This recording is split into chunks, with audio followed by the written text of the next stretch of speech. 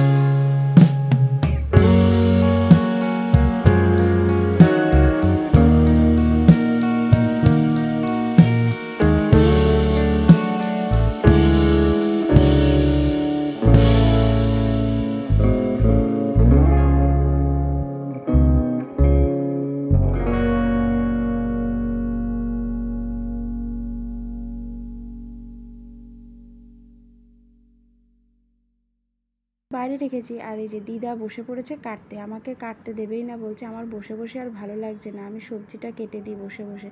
তাই জন্য দিদা সবজি কেটে দিচ্ছে। তো আর আমি এখানে রান্না করছি, আলু দিয়ে, পটল দিয়ে, ফুলকপি দিয়ে, পনির দিয়ে একটা তরকারি করব। তো সমস্ত কিছু ভেজে নিয়ে তারপরে এখন মশলা দিয়ে সুন্দর করে কষিয়ে নিচ্ছি আর টমেটো দিয়েছি একটা। মশলা কষানোর সময় টমেটোটা দিতে ভুলে গিয়েছিলাম, তাই জন্য পরে দিয়েছি আর কি। এখন এই কষানোর সময় দিচ্ছি দিয়েছি আর কি। আর এই যে, ঘরে ফ্রিজে অল্প পরিমাণের একটু পনির ছিল, তো সেইটুখানি আর কি ভেজে নিয়েছি। মানে পটল, আলু ফুলকপি, পনির দিয়ে সব কিছু একসাথে একটা তরকারি হবে। আর হবে কলমি শাক। এই যে কলমি শাকটা ভাজা বসিয়ে দিয়েছি। কালো জিরে, কাঁচা লঙ্কা ফোড়ন দিয়ে ভাত হয়ে গেছে, উপর করে দিয়েছি। প্রেশার কুকারে ডাল সেদ্ধ হয়ে গেছে, মুগ ডাল, পেঁপে দিয়ে মুগ ডাল করব। আর তরকারিটা এই যে দেখো, ঝোল দিয়ে দিয়েছিলাম মানে জল দিয়ে দিয়েছিলাম, তারপরে ঝোলটা ফুটে উঠেছে। আর নামানোর আগে একটু গরম মশলার গুঁড়ো দেবো, আর দেবো হচ্ছে একটু ধনে পাতা তো এই যে গরম মশলার গুঁড়ো দিয়ে দিলাম আর তারপরে একটু ধনে পাতা দিয়ে দেবো, ব্যাস তাহলে এই তরকারি মোটামুটি রেডি হয়ে যাবে। আর সবজি সব সেদ্ধই হয়ে গেছে। তো এত কিছু দিয়ে পনির কখনো রান্না হয় না। সাধারণত পনিরটা আলু দিয়েই বেশি হয় আমার বাড়িতে। তো আজকে একটু যেহেতু অল্প পরিমাণ ছিল, তাই জন্য একটু সবজিটা বেশি দিয়ে পনির দিয়ে করলাম আর কি। তো কালারটা মোটামুটি খারাপ হয়নি, বেশ ভালোই হয়েছে। আর এই যে এখানে হাজব্যান্ডের জন্য করব পেঁপে শুক্তো। তো তার জন্য পেঁপেটা একটু সেদ্ধ করে নিয়েছি হালকা করে। আর এখানে দেখো সব রান্নাই কমপ্লিট হয়ে গেছে। কলমি শাক ভাজা, এখানে এই যে পেঁপে শুক্তো করেছি, এটা দিদাও খাবে কিছুটা আর আমার হাজব্যান্ডও খাবে। এখানে দুধটা ফুটিয়ে রেখেছি। আর এখানে এই যে মুগের ডাল করেছি পেঁপে দিয়ে। তো সব রান্নাই হয়ে গেছে। আর এই যে যে হলো ভাত। তো তারপরে রান্নাঘরটা পরিষ্কার করে নিয়ে এসি বাসন কোসন সব মেজে গ্যাসটা মুছে নিয়েছি। রান্নাঘরের কাজ মোটামুটি সব কমপ্লিট